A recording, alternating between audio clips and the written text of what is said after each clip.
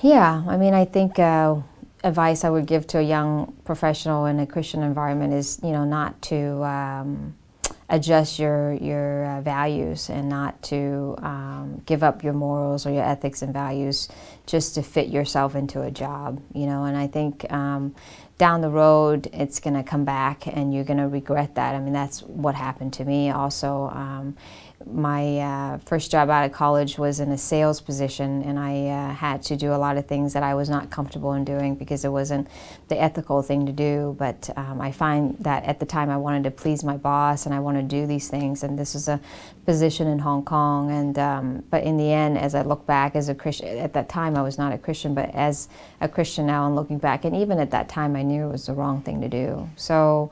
I think it's um, to find that culture that fits where you want to be. There's a lot of companies, a lot of different kind of cultures. Um, you know, from large company to small company to open environment to whatever. So I would say, from a Christian point of view, not to um, sacrifice or to um, um, what's the word? Not to compromise your morals and values just to fit yourself into the job. I would think that's a, a really important point.